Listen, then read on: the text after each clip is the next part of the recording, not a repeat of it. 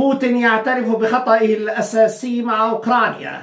في واقعنا من السهل أن ننخدع ونخطئ لكن يظهر أن نهاية المسار التقليدي للمقارنة أصبح محسوسا.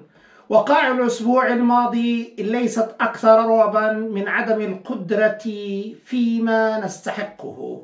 الآن فلاديمير فلاديميريتش اعترف بخطئه الرئيسي في أوكرانيا. في بداية الأسبوع وزير الخارجية أوكرانيا ديمترو كوليفا صرح بأن أوروبا ليس لديها لا الحق الأخلاقي ولا الحق السياسي في التخلي عن دعم نظام كييف. وبطبيعة الحال فرض المزيد من المال والسلاح على أوروبا والحزمة التاسعة من العقوبات. وأوروبا حاليا هي الغرب الجماعي. أصبحت تظهر عليه بعض علامات التعب. والمنعرج ظهر عند ضرب صاروخ أوكراني لجرار بولوني. لم يكن الأمر حادثة درامية بل وسيلة استفزاز من أوكرانيا. والأقمار الصناعية الأمريكية توضح الأمر وحاليا الاعتراف بأن الجنود الأوكرانيين يقترفون جرائم حرب في حادثة ماكيفكا وتبرير كييف أن هؤلاء الجنود خونة كان مثل وقع الحديد على الزجاج. وما قالت نيويورك تايمز حول عدم قدرة الغرب على إمداد كييف بالذخائر أمر أكثر وضوحا. وكيف تتحدث في المقابل عن عدم قدرة روسيا وفي لحظة إعلان نهاية الصواريخ جاء الرد الأول. أما الرد الثاني بعد إعلان روسيا دولة راعية للإرهاب. ماريا زخاروفا قالت بالزخة الصاروخية كإجابة بل إن إجابتها كانت بأن أوروبا ترعى التفاهة والبلاهة. نعم فقط سأقول إن مجرد جعل سبعين في المية من بلد خارج الكهرباء يؤكد أن لدينا المحول. نستطيع أن نشعل أو نطفئ الكهرباء حيث نريد. ما نريده نفعله. نفس كلمات المتحدث الرسمي جيمي شيا في 1999 في قصف يوغوسلافيا. أهلا وسهلا بكم في حلقة جديدة من أسرار شرق أوسطية. سيناريو يوغوسلافيا مع الناتو تماما كسيناريو روسيا في أوكرانيا. هذا ما يلاحظ والعقدتان معا متسايرتان في نفس المسار.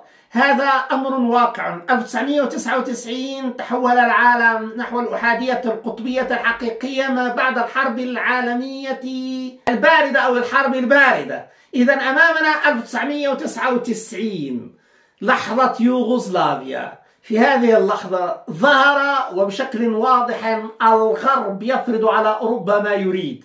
كما يفعل الآن. الأمريكيون يريدون أن يفرضوا مرة ثانية كما حدث في 1999 وجعلوا أوروبا وغرب أوروبا تحت سيطرتهم. الآن يعيدون القارة ودائما لتكريس قوات أمريكا. في الاتجاه الآخر روسيا تريد أن تصدع بشيء آخر.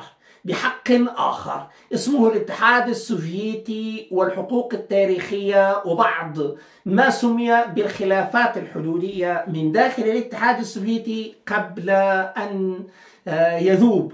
إذا العملية اليوم هنا سيناريو بسيناريو لكن كل هذا متجاوز. لأن بوتين لا يريد أن يتجاوز خطوط إعادة رسم الخارطة انطلاقا من أوكرانيا تماما كما الغرب في 99 مع أمريكا. ويظهر هذا واضحا في آه، رغبته في عدم قتل أوكرانيا لكن الغرب يدفع مباشرة إلى سحق الاثنين معا سحق أوكرانيا بروسيا والأمر بعدها يمكن أن يعود مباشرة إلى الناتو. هذا هو أهم ما يريده الآن الأمريكي. بالنسبة لبوتين عندما اختار هذا السيناريو يعني الضربات وليس القوة المفرطة وبعدها مباشرة الوصول إلى العاصمة والعودة إلى كل هذا تكتيكات عسكرية كانت السياسة هي التي تلعب الوضع لأن الإحساس بالقوة يدفع إلى المزيد من التسييس. لكن في واقع الأمر الآن أصبح هناك معنى عسكري ودائما تحت البوصلة السياسية. كما هو واضح زخروفا واضحة في أن الضرب الثاني أو الرد الثاني الصاروخي كان ناتجا عن تصويت البرلمان الأوروبي بأن روسيا راعية للإرهاب. في هذه الحالة كان واضحا أن آه، إخراج دولة من الخارطة حالة محتملة.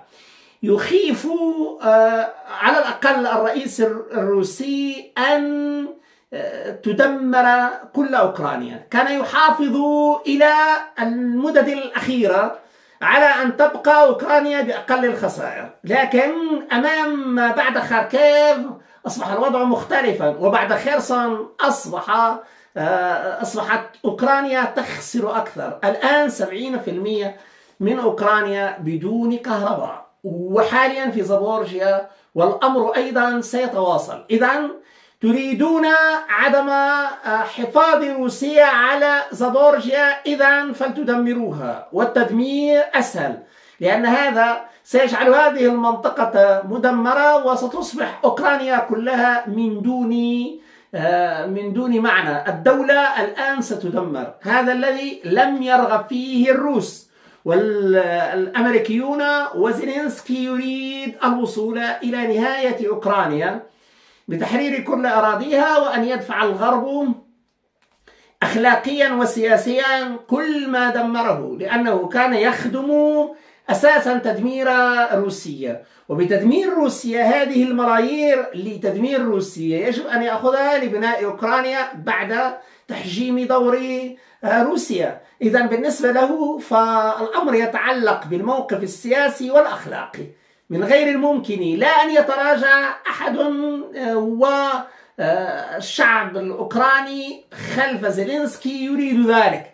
لهذا فإقناع ما رآه على وجه التحديد زيلينسكي في موقف أمريكا أولا بدعوته إلى الخروج كما تماما الرئيس الأفغاني بعد هجوم طالبان. كان واضحا أن هذا هو الخيار. آه، بالنسبة لألمانيا أيضا وهذا ما انتقده زيلينسكي. إذا واقع الحال الآن أننا أمام إعادة الصورة وبشكل كبير للغاية في أن أوكرانيا اليوم ستعاني لأن التدمير الشامل قد يحدث.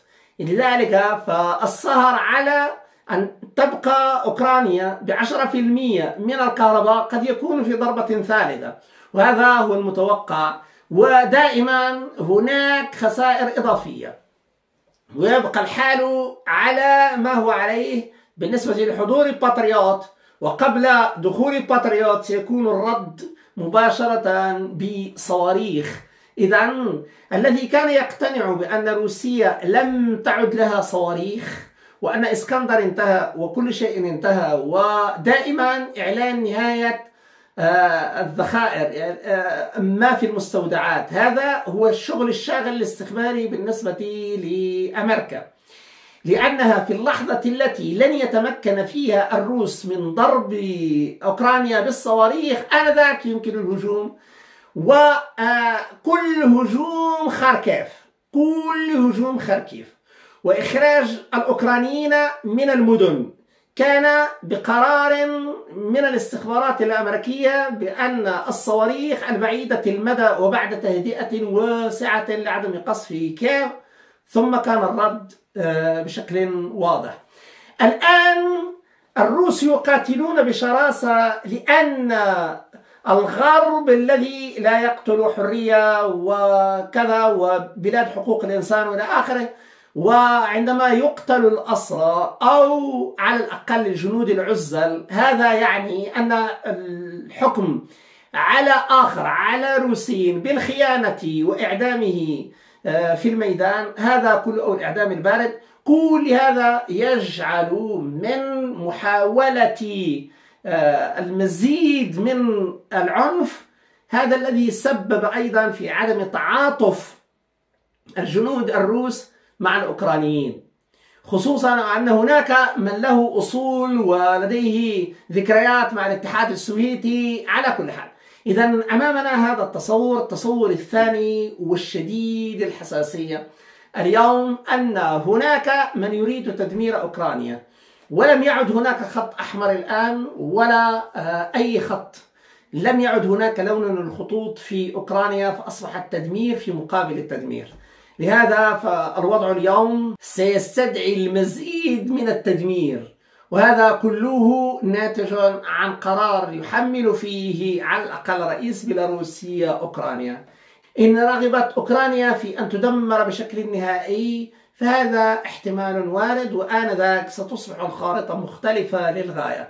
إذا زيلينسكي يتحمل جزء من المسؤولية. هذا الذي قاله الإيطالي في وقت سابق برلسكوني قبل بداية العملية والآن يظهر أن آه، بوتين يريد أن يضع بصمات لتحميل الأوكرانيين المسؤولية والغرب بعد إعلان إقاليمه الأربعة وإعلان دائما أنه مع المفاوضات في الوقت الذي يكون فيه مد وجزر ثم قصف لإعطاء مبررات للوصول إلى هذه التدميرات دون أن يكون هناك مسمى ضربات الغاشمة أو العنف الغاشم. وهذا الرهان رهان القوة الغاشمة لا يريد أن يسطره أساسا الغربي أو جزء من الغرب على الأقل للتواصل. ودائما يريد أن يحافظ على مفاوضات مع أمريكا للعب على نفس هذه التوازنات. وبالتالي الوصول إلى قتل أوكرانيا لكن دون جثة. شكرا جزيلا وإلى اللقاء.